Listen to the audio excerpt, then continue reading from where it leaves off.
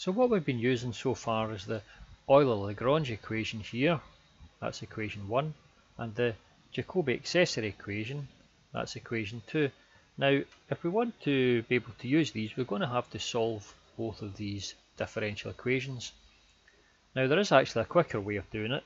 Now, if we note that the solution to the Euler-Lagrange equation always comes in this form, okay, so it always ends up a function of the independent variable x and two parameters, say c1 and c2. So if you look back at the previous videos, you'll see there's about 15 or so examples, and you'll be able to put all the answers into this kind of general form. Okay, so having noted that, what we're going to show, we're just going to show and then prove it. So we're going to show that if we have this solution to the Euler-Lagrange equation, then we can find the solution to the Jacobi accessory equations by taking the partial derivative of the function with respect to c1 and the partial derivative of this function, the solution with respect to c2, and that will give us a solution to the Jacobi accessory equation.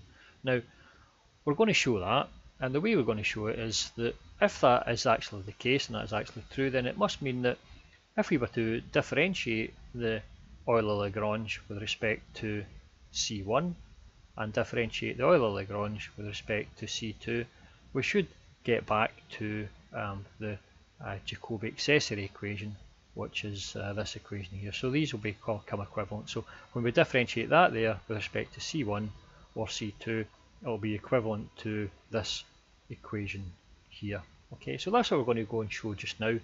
Now, we know that the function f naught, and again, of the very first line up here, we're going to use that in the nomenclature. You've seen that in previous videos, so it just simplifies things out and stops it from looking so garish. Okay, so um, we'll write partial f by partial y is equal to f naught, and partial f by partial y derivative is f1, and the second derivative with respect to y is f naught naught, and the mixed derivative mixed derivative is f01, and the partial derivative with respect to y derivative is equal to f11. Okay.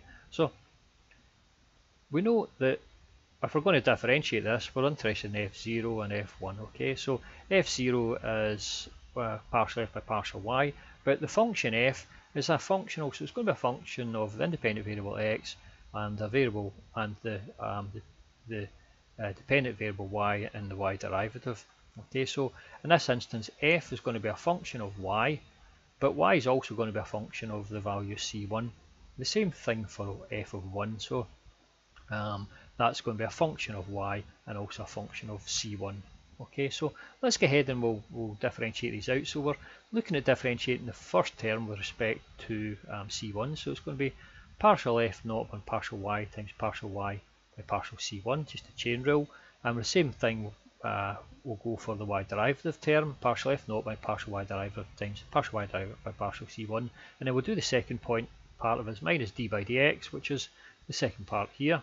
So that's minus d by dx of partial f 1 by partial y times partial y partial c1 plus partial f1 partial y derivative times partial y derivative partial c1 okay now what we'll do is we'll simplify it again and we'll write that the partial y by partial c1 is equal to u and partial y derivative partial c1 is equal to u derivative so whenever we stick that, these u and u derivatives in for what we have above here, we're just going to the equation below. Okay, so that there is replaced by the value u, and that's replaced by u derivative, and the same above for these ones here. Okay, so you just end up with this equation here.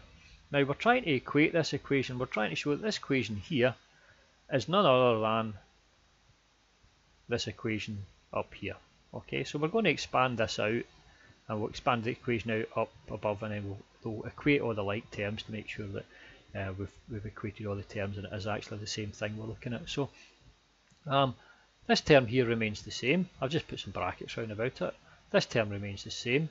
Okay, now what we're going to do is we're going to um, again multiply this out um, or differentiate it with, uh, as a product of two terms. So you're going to get two terms for this and you'll get another two terms for this. Okay, so you're going to end up with another uh, four terms. Okay, so uh, the first term, you differentiate the first, point, first uh, partial f1 by partial y and multiply it by u. So we've just done that, we've got d by dx, and we're differentiating that and multiplying it by u. Now the second part of it is uh, we're going to differentiate u with respect to x as just u derivative and just multiply it by partial f1 by partial y.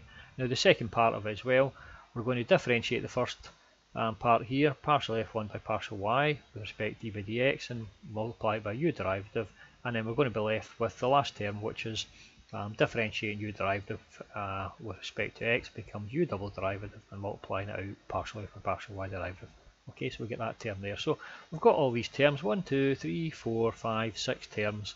Now we'll just write those six terms in the format that we have above. Okay, so that partial f, just do one of them, then you, you can you can do the rest yourself. So I'll read out one of them. So partial f naught by partial y.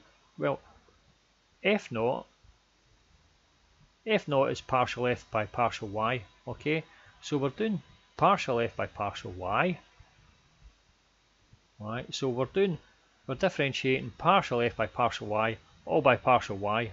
Okay, so that's actually partial 2f by partial y2, which is actually partial to f by partial y2 is actually f naught naught. Okay, so we're just putting these values in and, and equating to what we have written above for the particular nomenclature.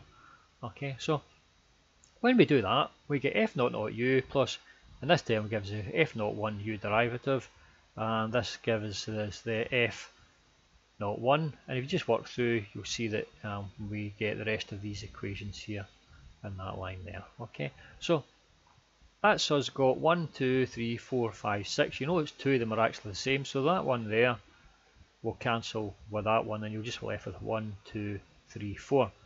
Okay, so um, now what we're going to do is we're going to equate these four terms, 1, 2, 3 and 4 with the equation that we've got above here. Okay, so we'll just expand that equation out above there.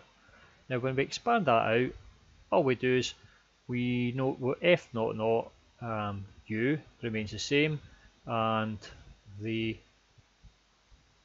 this term here remains the same and all we're going to do is we're just going to do the um, product rule for differentiation here for, with these two terms. So yeah, you differentiate one, multiply by the other, and then differentiate the other, and then multiply by that. Okay, so we just end up with four terms, and these two terms will remain the same. Okay, so that's all I've done there. We've expanded these out, and we've got um, that remains the same, and uh, that remains the same, and that's that second term expanded out. Okay, so we've differentiated one, multiplied by the other, and then we've differentiated the u to get u double derivative and then multiplied it by the f11 okay so if you notice here that this term here is the same as that term so that's us equated one of the terms and we can see that this term here is just the same as that term. So that's us equated of the terms. This term here is just the same as that term there. So that's us equated three of the terms and that term there is the same as that. So all four terms have been equated. So we can then say that we can see that all four terms equate, so that partial y by partial c1 is a solution to the Jacobi accessory equation. Now you can go through a similar um, uh, proof for partial y by partial uh, c, that should be 2, and uh, you'll see that that is true as well. Okay, so that's a little proof um, that we can solve the Jacobi accessory equation by looking at the solution to the Euler-Lagrange and forming these partial derivatives. Okay, so thank you for listening and uh, we'll use that again in the next couple of videos and it, it's quite useful. Okay, so thank you and bye bye.